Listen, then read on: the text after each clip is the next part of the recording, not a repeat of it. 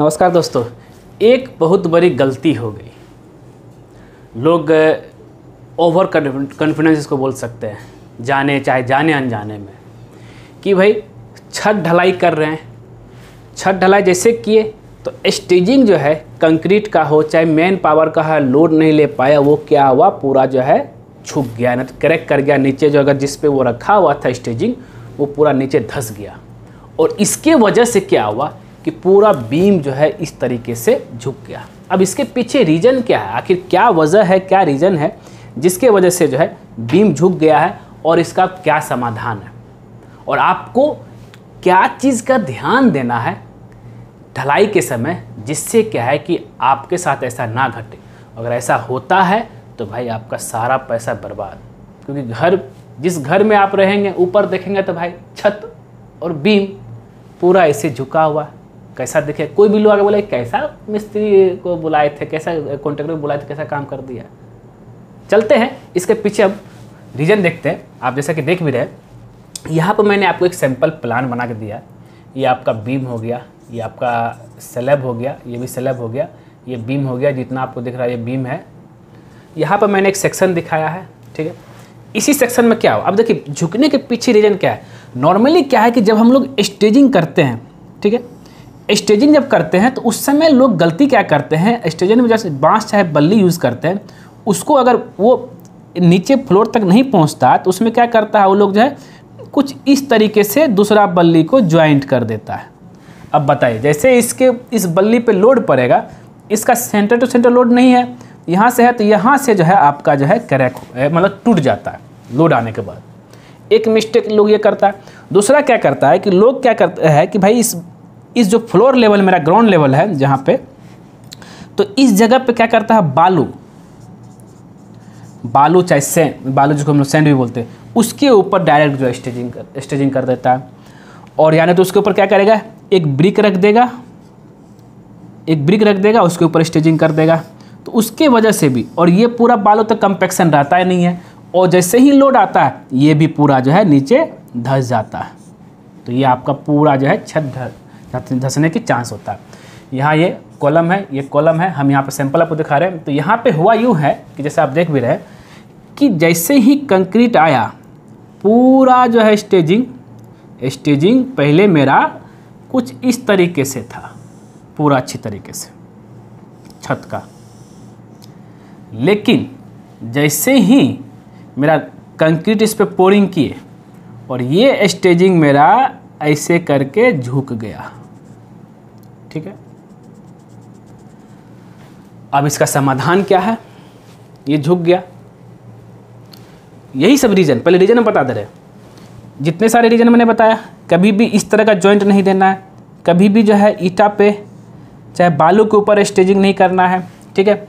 और स्टेजिंग जब भी करें, आप जो है नया बाँस, चाहे बल्ली यूज़ करें। नहीं तो कॉन्ट्रेक्टर लोग क्या करेंगे पुराना से पुराना बाँस चाहे बल्ली इस्तेमाल करेगा बम्बू या बल्ली तो उससे क्या होता है कि जैसे एक और चीज़ होता है।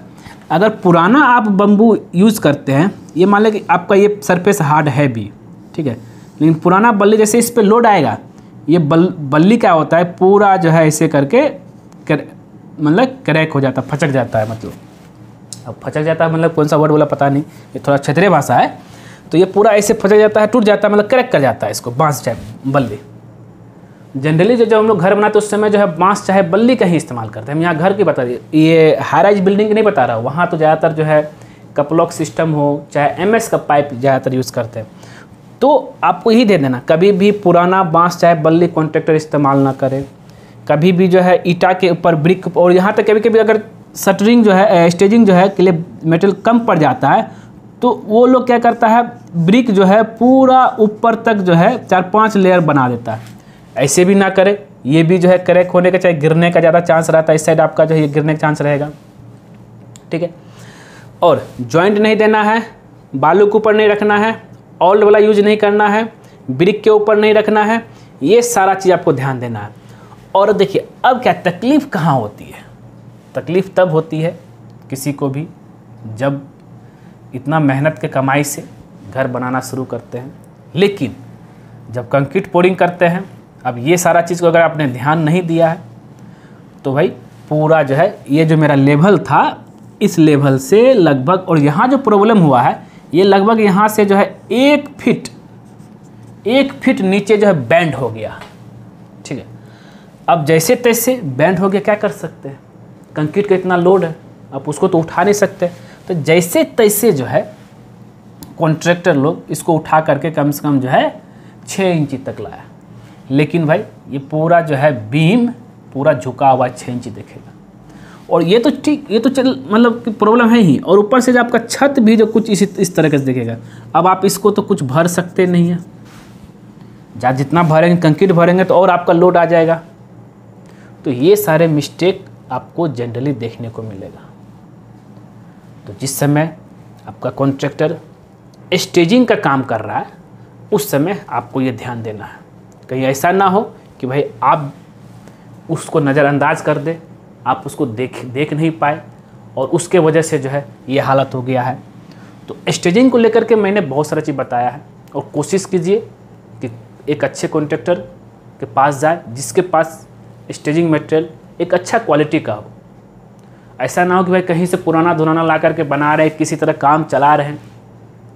काम चल, आपने तो कॉन्ट्रैक्टर को एक अच्छा पैसा दे ही रहे आप यहाँ तक कि उसका स्टेजिंग का भी पैसा दे रहे तो भाई एक अच्छा मटेरियल ला के दो। जनरली क्या होता है, देखिए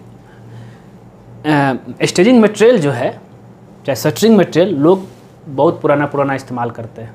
जो यूज़ हो चुका है, उसको भी इस्तेमाल करते हैं।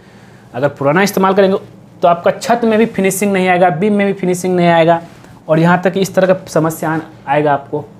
तो आपको यही बस ध्यान देना है कि भाई, ये सबसे बहुत बड़ा मिस्टेक है तो आपको ध्यान में लेकर के चलना है कि भाई ऐसा जो है आपके घर के साथ ना हो।